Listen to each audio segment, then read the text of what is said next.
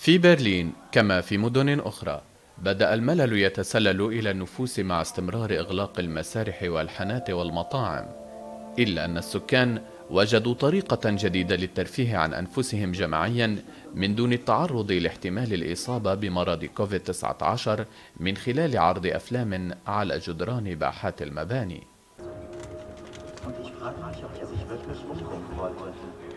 Da wir jetzt seit Wochen nicht ins Kino gehen können, kommt das Kino zu uns, finden wir eine richtig gute Idee. Und hier können wir ganz gut auf unseren Balkonen sitzen und Kino gucken.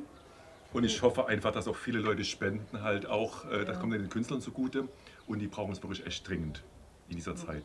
Passt alles nicht zusammen. وقد توقفت قاعة السينما في برلين عن بيع البطاقات ووجهت هذه الأخيرة نداء للتبرع تحت عنوان يتبع بهدف جمع أكثر من 700 ألف يورو وقد بلغت وعود التبرعات حتى الجمعة مئة ألف يورو.